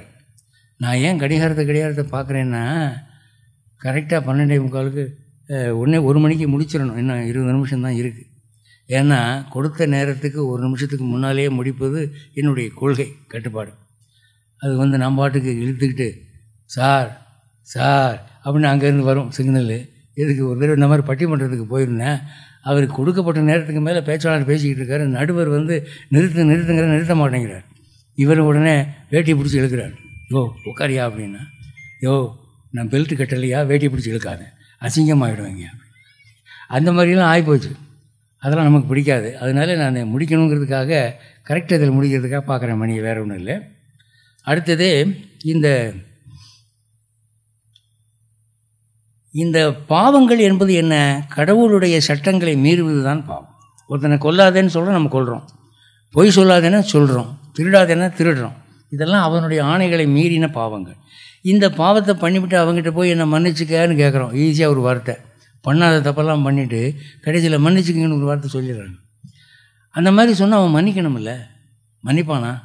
எப்போவுமே வந்து ஒரு பெரிய இடத்துல தப்பு பண்ணிட்டா நேரடியாக போய் மன்னிப்பு கேட்டால் அவர் மன்னிக்க மாட்டாருங்க. ஒரு ஜமீன்தார் வீட்டில் போய் மாமரத்துலேருந்து ஒரு ஐம்பது மாம்பழம் அடித்து கல்லில் அடித்து கிளப்பிட்டோம் தோப்பை விட்டு வெளியே வர நேரத்தில் ஜமீன்தாரை எதிர வந்துட்டார். ஏய் இப்படா அவனை கட்டுற மரத்தில் அப்படின்ட்டான் இப்போ அடிக்க போகிறாங்க செவுக்கால. அப்போ வந்து அந்த தோப்புக்கு காவக்காரன் ஒருத்தன் அவன் எனக்கு தூரத்துக்கு உறவு. சித்தப்பா மாட்டிக்கிட்டேன் சித்தப்பான்னு என்னடா இது? பையன் நிறையா மாம்பழம்னு என்னடா அப்படி எடுத்தேன்னா? நீ கற்றுக் கொடுத்த பாடம் தான். நீ தான் வீட்டுக்கு கொண்டு வந்து கொடுக்குறீல அது மாதிரி நான் செயல்படுத்தினேன். ஜமீன்தார் பார்த்துட்டாருன்னு இப்போ என்னை அடிக்க போகிறாங்க செவுக்கால. கொஞ்சம் ஏதாவது சொல்லுங்கன்னு. உடனே அவன் என்ன பண்ணிட்டான்? மேலே இந்த துண்டு எடுத்து இடுப்பில் கட்டி ஜமீன்தார் காலில் போய் விழுந்தான். ஜமீன்தார் ஐயா ஒரு சின்ன உதவி. இவன் வந்து எங்கள் அண்ணன் மகன். ஏ தெரியாமல் பண்ணிட்டான். எனக்காக விட்டுருங்க. இனிமேல் அவன் பண்ணாதபடி நான் பார்த்துக்கிறேன் அப்படின்னு உடனே இல்லை திருட்டு போய் கூட்டமாக இருக்கிறீங்க எல்லாம். சரி உனக்காக விட்டேன். இதான் கடைசி. இன்னொரு தடவை நான் மாட்டினாம தொலைஞ்சான் சொல்லிவிட்டேன் அப்படின்னு. சரி அப்படின்னு. இப்போது இந்த காவக்காரனுக்காக அந்த ஜமீன்தார் என்ன பண்ணுறாரு போய் தொலைடா அப்படின்றார். போகிறபோதே அவன் வந்து ஜமீன்தார் ஐயா நான் திருடின பழத்தை நான் எடுத்துக்கலாமா? இல்லை போட்டு போயிடட்டுமா? எடுத்துகிட்டு போய் தொலைடா அப்படின்னா. அப்போது அந்த சிபாரிசு என்னென்ன வேலை பண்ணுதாங்க? அது மாதிரி நாம் ஒரு தப்பு பண்ணுறோன்னா கடவுள்கிட்ட போய் மன்னிப்பு கேட்குறப்ப ஒரு குரு வந்து நம்ம போய் தான் கொஞ்சம் பாருங்க தெரியாமல் பண்ணிட்டான். அப்படின்னு சொன்னேன் சரி உமக்காக நான் விட்டேன். அப்படின்னு அவர் முகம் பார்த்து மன்னிக்கணும் இல்லையா? அதுதான் புருஷகாரம் சிபாரிசுன்றது.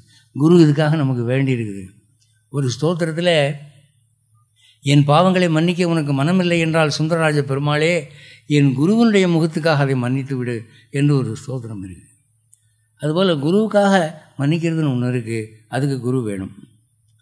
அடுத்தபடியாக வாழ்க்கையில் நமக்கு சில பிரச்சனைகள் வரும்போது நாம் செய்கிற காரியம் சரிதானா போகிற வழி சரிதானான்னு நமக்கு கைடு பண்ணுறதுக்கு குரு வேணும் இல்லையா?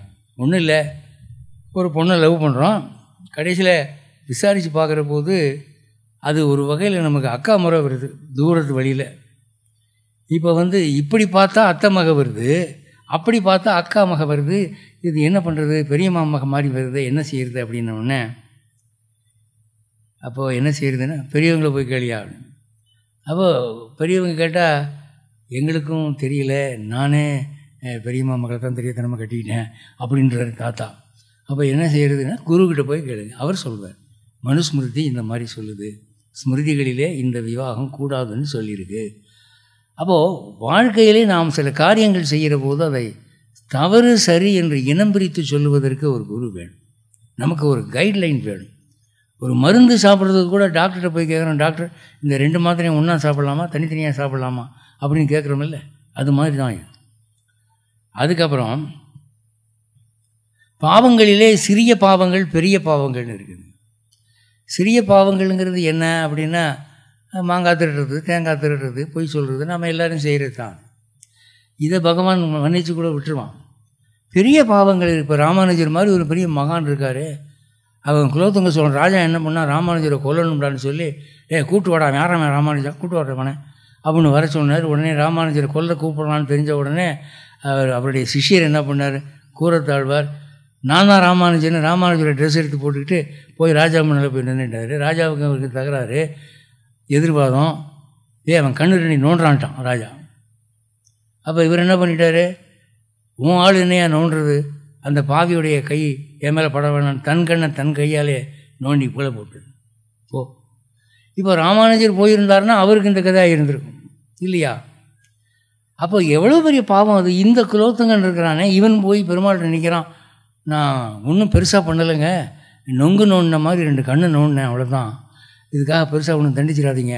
அப்படின்னு பெருமாள்கிட்ட போய் நின்னா பெருமாள் விடுவார்?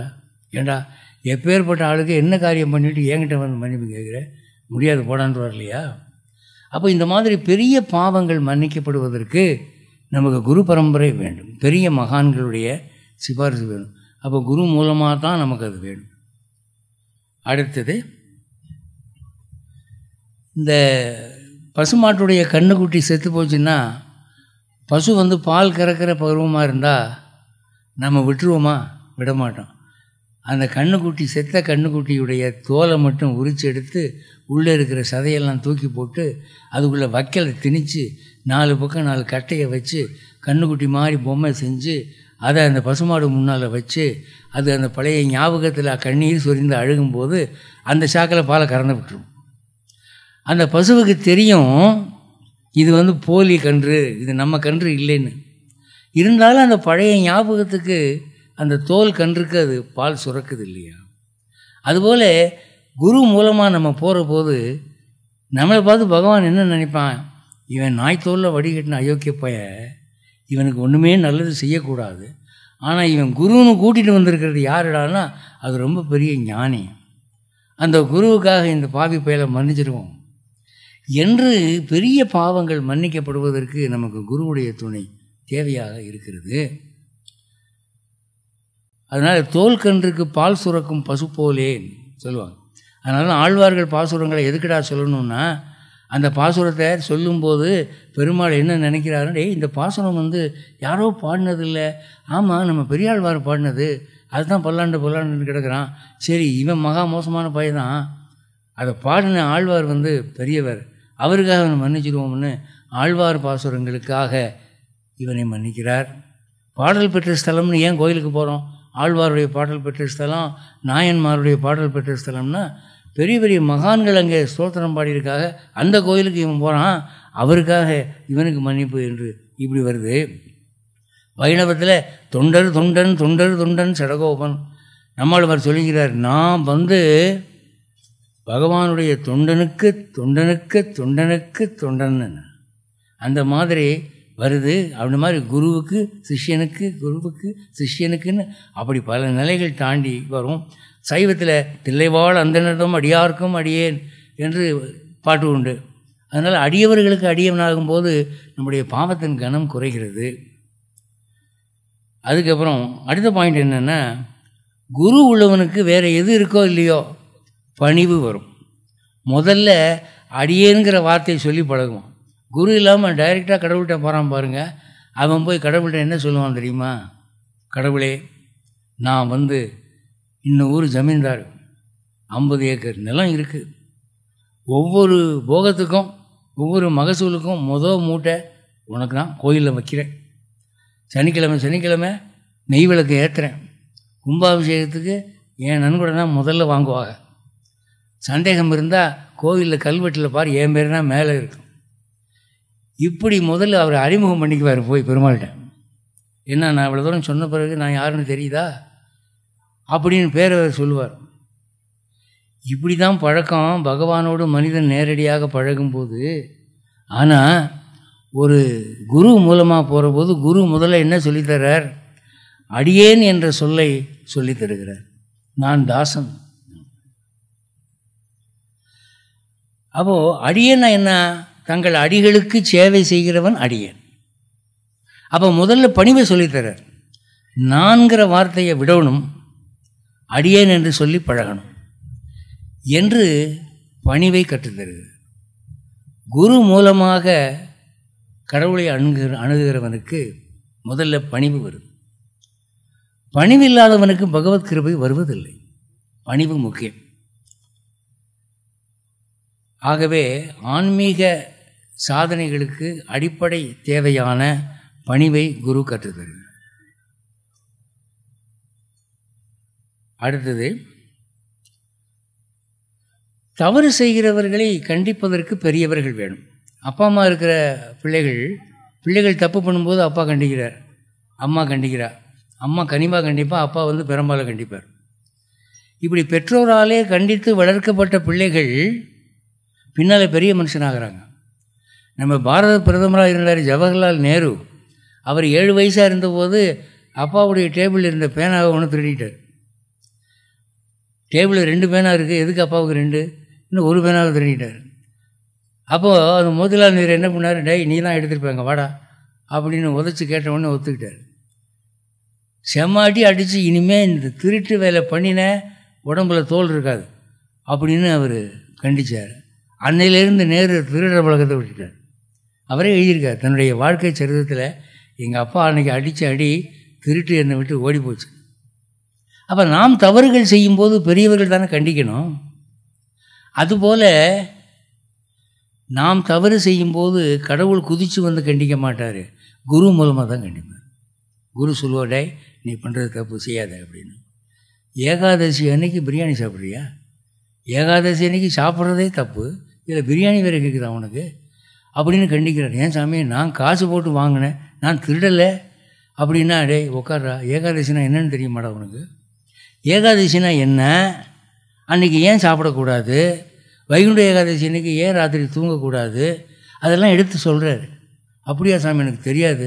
இனிமேல் அடுத்த வைகுண்ட ஏகாதசியிலேருந்து நான் ஒழுக்கமாக இருந்துக்கிறேன். அப்படின்னு அவன் திருந்துறான்ல.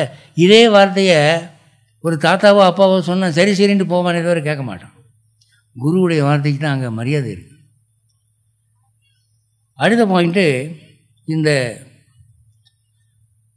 குருவுடைய ஒரு முக்கியமான மகிமை. நான் சொல்ல போகிறதில் உங்களுக்கு நம்பிக்கை வருமோ வராதோ. குரு மீது பக்தி உள்ளவனுக்கு குருவுக்கு என்னவெல்லாம் தெரியுமோ அதை அவர் சொல்லிக் கொடுக்காமலே வரும். அது குரு பக்தியுடைய மகிமை. உங்களுக்கு சாம்பிள் வேணும்னா மகாபாரதத்தில் ஏகலவியன்னு ஒருத்தர் இருந்தான். அவன் வேட ஜாதியை சேர்ந்தவன். அவன் போய் அவர் பாண்டவர்களுக்கு வில்வித்தை சொல்லி கொடுத்துக்கிட்டு இருந்தார் துரோணர். அவர்கிட்ட போய் சாமி எனக்கு இந்த வில்லு விட சொல்லிக் கொடுங்க. அர்ஜுனன் விட்டான்னா அவ்வளவு கணக்காக அடிக்கிறான். எனக்கு அந்த மாதிரி சொல்லிக் கொடுங்க அப்படின்னு. அப்போ துரோணர் என்ன சொன்னார்? அவன் சத்திரியன் நாட்டாள வேண்டிய ராஜா நாளைக்கு யுத்தத்துக்கு போகணும். அவன் யுத்தத்துக்கு போகிறவனுக்கு வில்லு விடுறது கட்டாயம். நீ வேட ஜாதி. உங்கள் அப்பாவும் வேடர் நீயும் வேடர். நீங்கள் காட்டு விலங்குகளை இறக்கம் இல்லாமல் கொண்டு சாப்பிட்ற கூட்டம். உங்களுக்கு நான் இந்த விதை சொல்லி கொடுத்தா அந்த வேலையை தான் அதிகமாக செய்வீங்க. உங்களுக்கு தேவையில்லை. கோபம் வந்தால் நாட்டு மக்கள் மேலே கூட அன்பு போடுவீங்க. நான் உனக்கு சொல்லித்தர முடியாதுன்ட்டேன். அப்போ வந்து ஏகலவியனுக்கு வருத்தம். என்னடா பண்ணுறது வீட்டுக்கு போனால் வில்வித்தை கற்றுக்கணும்னு ஆசை தூக்கம் வர மாட்டேங்குது. என்ன பண்ணால் அந்த துரோணர் மாதிரியே ஒரு பொம்மை செஞ்சான். பொம்மை செஞ்சு இதுதான் என் குரு என்று தினம் அந்த துரோணர் பொம்மைக்கு பூ காலில் வைப்பான். கீழே விழுந்து குருவே வணக்கம்பான் நூறு தடவை உட்காந்து உக்கி போடுவான் தோப்பு போடுவான். அதுக்கப்புறம் அவன் வில்லு எடுப்பான் அம்பு எடுப்பான். அந்த துரோணர் சொல்லி கொடுக்காமலே இவனுக்கு அந்த வித்தை வந்தது. எந்த அளவுக்கு அப்படின்னு சொன்னால் ஒரு நாள் இவன் இந்த ஏகலவியன் அம்பு விட்டதை பார்த்துட்டு அர்ஜுனன் இவ்வளவு கணக்காக அம்பு விடுறானே? என்று அவனை கூப்பிட்டு டேய் உன் குரு யார்றான்னு கேட்டால் உங்கள் குரு தான் என் குரு அப்படின்னா.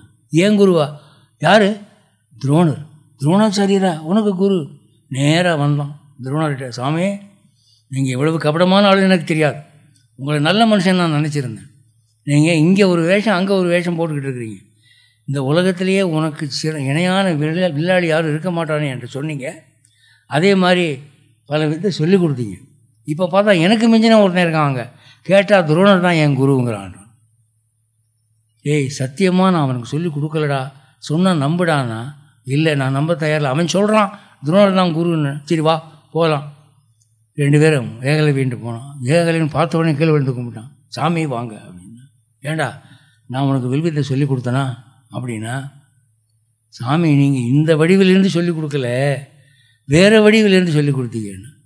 உடனே அர்ஜுனன் பார்த்தான். ஓஹோ யோகத்தில் அப்படி இன்னொரு வடிவு எடுத்து போய் ரகசியமாக சொல்லி கொடுத்துருக்காரு ராத்திரியில். அப்படின்னு ஏன் சாமி இந்த வேலை வேறு உண்டா உங்களுக்குன்னு? ஏ என்னடா ஒரே அண்ட புழு ஆகாச புழுவாக இருக்குடா? எதுனடா அந்த வடிவன்னா கூட்டிகிட்டு போய் அந்த பொம்மையை காமிச்சான். இதுதான் என்னுடைய குரு. இங்கே தான் காலில் விழுந்து விழுந்து கும்பிட்டு நான் அந்த விதியை கற்றுக்கிட்டேன் அர்ஜுனனை பார்த்து பார்த்தியாடா இப்போ நம்புறியா? உனக்கு இல்லாத குரு பக்தி அவனுக்கு இருக்குடா. நான் சொல்லி கொடுக்காதெல்லாம் அவனுக்கு வந்திருக்கு அப்படின்னு. இது வந்து மகாபாரதத்துலேருந்து நான் சொன்ன உதாரணம். இன்னொரு உதாரணம் வைணவத்திலேருந்து ஒரு உதாரணம். சுவாமி சர்வானந்தா எனக்கு ஒரு லைசன்ஸ் கொடுத்துருக்காரு. நீங்கள் வைணவத்தை பற்றி பேசலாம் தப்பு இல்லை நாங்கள் ஒன்றும் கோச்சிக்க மாட்டோம் அப்படின்னார்.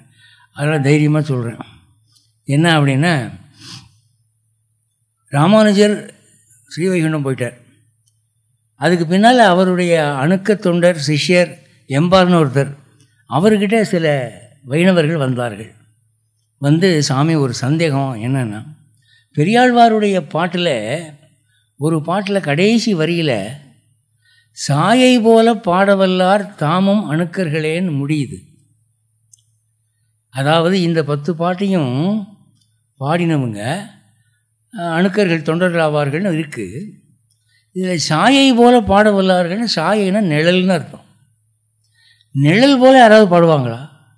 நிழல் போல பாடுறதுனா என்ன அர்த்தம் முதல்ல அதை சொல்லுங்கள் எனக்கு தெரியல. விளக்கம் கொடுக்குறதுக்கு ஆள் இல்லை. நீங்கள் தான் ராமானுஜருக்கு வேண்டியவர்.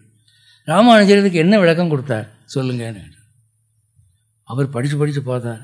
ஏய் எனக்கு எது புதுசாக இருக்குடா அப்படின்னு. வந்தது வந்தீங்க ராமானுஜர் இருக்கிற போது வந்திருக்கப்படாதா?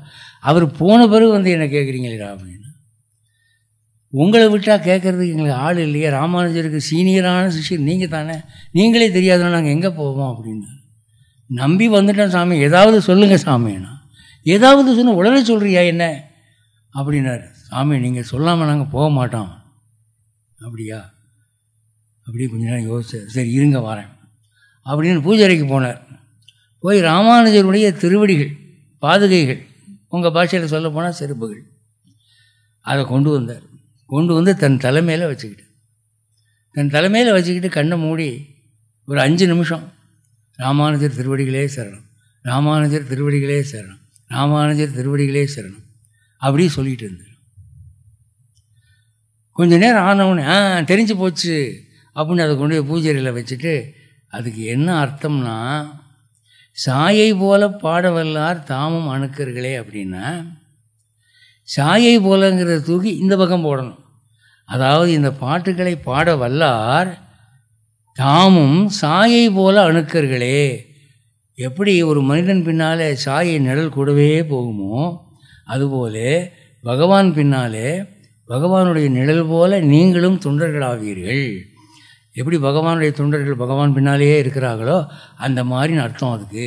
நிழல் போகிறங்கிறது அங்கே தூக்கி போடணும். அப்படின்னு சொன்னார். ஆஹா ரொம்ப சந்தோஷம்னு போயிட்டாங்க. இது வந்து வர்த்தமாலையில் எழுதப்பட்டிருக்கிறது. அதாவது அந்த காலத்தில் குரு சிஷ்யங்க ஏதாவது பேசிக்கிட்டாங்கன்னா அதை உடனே ரெக்கார்ட் பண்ணிடுவாங்க. ஏன்னா அவங்க வாயிலேருந்து வர்றதெல்லாம் நல்ல வார்த்தையாக தான் இருக்கும். அதனால் அவங்க கான்வர்சேஷன்லாம் என்டர் பண்ணியிருக்காங்க அதில் இப்படி ஒரு சம்பவம் எழுதப்பட்டிருக்கு. இது எதுக்காக சொல்ல வரேன் அப்படின்னா குரு மீது பக்தி உள்ளவர்கள் குருவுடைய ஞானம் தமக்கு வரப்பெறுவர்கள் குரு சொல்லிக் கொடுக்காமலே வரும். அப்போ அந்த மாதிரி ஒரு வசதி குரு பக்தியில் மட்டும்தான் இருக்குது இன்றைக்கி இந்தியாவில் நீங்கள் வந்து ஸ்ரீரங்கம் போனீங்கன்னா ஆச்சாரிய ரத்னமாலான்னு ஒரு படம் வைப்பாங்க. அது என்னன்னா முதல் குரு நாராயணன் அதுக்கப்புறம் ஃபஸ்ட்டு டிசேபிள் மகாலட்சுமி அதுக்கப்புறம் விஸ்வக்சேனர் அதுக்கப்புறம் அப்படி வரும் கருடாழ்வார்னு வரும். வந்து கடைசியாக உங்கள் குரு வரைக்கும் இருக்கக்கூடிய படங்கள் போட்டு அதை ஒரு படமாக விற்கிறாங்க அது வந்து குரு பரம்பரா சித்திரம். அதை வாங்கி வீட்டில் வச்சுக்கிட்டு அஸ்மத் சர்வ குருபியோ நமக என்னுடைய சகல குருக்களுக்கும் வணக்கம் என்பதை ஒரு நாளைக்கு ஒரு முறையாவது சொல்லி வந்தால் அத்தனை குருமார்களை வணங்கின ஒரு புண்ணியம் மட்டும் இல்லை அவர்களுடைய ஞானமும் நமக்கு வருகிறது. அதனால் இந்த குரு பக்தி என்பது போதிக்கப்படும் ஒன்றல்ல அது எடுக்கப்படும் ஒரு புதையல். ஒரு பெரிய ரகசியத்தை நான் உங்களுக்கு சொல்லிக் கொடுக்குறேன். இதை ரகசியமாக நினச்சிங்கன்னா இதை வைரமாக நினச்சிங்கன்னா உங்களுக்கு வைரமாக கொட்டும். அப்படி இல்லை தெரியாதனமாக சாப்பாட்டுக்கு முன்னால் வந்து மாட்டிக்கிட்டோம் எந்திரிக்கவும் முடியலைன்னு நினச்சிங்கன்னா அதுக்கு வந்து ஒன்றும் சாதகமான பலன் இருக்காது. ஏன்னா ஒரு பயனற்ற விஷயத்தை ஒன்றேகால் மணி நேரம் உட்காந்து நான் பேசியிருக்க மாட்டேன். சுவாமி சர்வானந்தாவும் கூப்பிட்டுருக்க மாட்டார். ஏன்னா இந்து மதத்தினுடைய பபை ஒரு முக்கியமானது. இப்போ இன்றைக்கெல்லாம் வந்து குலசி சாமியினுடைய ஜென்ம நட்சத்திரத்தை ரொம்ப விமரி விமரிசையாக கொண்டாடிட்டு இருக்கிறீங்க. தவ ஞான பீடம்னு பேர். அங்கே வந்து ஆன்மீகத்துக்கு தான் இடம் தவத்துக்கு தான் இடம் ஞானத்துக்கு தான் இடம். வேறு இடம் இல்லை. அப்படி இருக்கிற போது நீங்கள் வெளியே ஹோட்டலுக்கு போய் பார்த்தீங்கன்னா ஐஸ்லேண்ட் அப்படின்னு போட்டிருக்கான். சம்மர்ஸ் பேரடைஸ்னு போட்டிருக்கான். அதெல்லாம் என்னென்னா வியாபாரத்துக்காக வேறு நோக்கத்தில் வைக்கப்படும் பெயர். இங்கே தவஞான பீடம் பீடம் என்பது மன அடக்கத்தினாலே மனிதன் பெறும் தவமும் தவத்தின் விளைவான ஆற்றலும் பெருகுவது எப்படி? இந்த விதைக்குன்னு சொல்லி ஒரு இடம் அதுக்கு சீடர்கள் அதுக்கு குரு இது இந்தியாவில் தான் நடக்கும். இது நம்ம நாட்டுக்குரிய தனிப்பெருமை. மற்ற நாடுகளில் இதெல்லாம் பார்க்க முடியாது. இந்தியாவை விட்டு வெளிநாட்டில் போய் வேலைக்கு உக்காந்துருக்காங்களே அவர்கள் இதையெல்லாம் இழக்கிறார்கள். அப்போது இந்த ஒரு அரிய வாய்ப்பு ஒரு குருவுக்கு நாம் ஜென்ம நட்சத்திரம் கொண்டாடுறோம் அதுக்கு இவ்வளவு பேர் நூற்றுக்கணக்கில் கூட்டம் கூடியிருக்கிறாங்க அப்படின்னு சொன்னால் நாம் குரு பக்தியுடைய மகிமையை ஓரளவு உணர்ந்திருக்கிறோம். நான் உங்களுக்கு தெரியாததை சொல்லிக் கொடுக்கல. தெரிந்ததை நினைவூட்டுகிறேன். ப்ரெஷிங் அப் அவ்வளோதான் அதை நீங்களும் வந்து இன்றைக்கி நீங்கள் பெற்ற நல்ல கருத்துக்களை உங்கள் நண்பர்களுக்கும் எடுத்து சொல்லி இதை ஆன்மீகம் வளர்வதற்கு இந்தியாவினுடைய முதுகெலும்பு ஆன்மீகம்தான். ஆன்மீகம் போச்சுன்னா இந்தியா உலக அரங்கில் தோல்வியை சந்திக்கும்.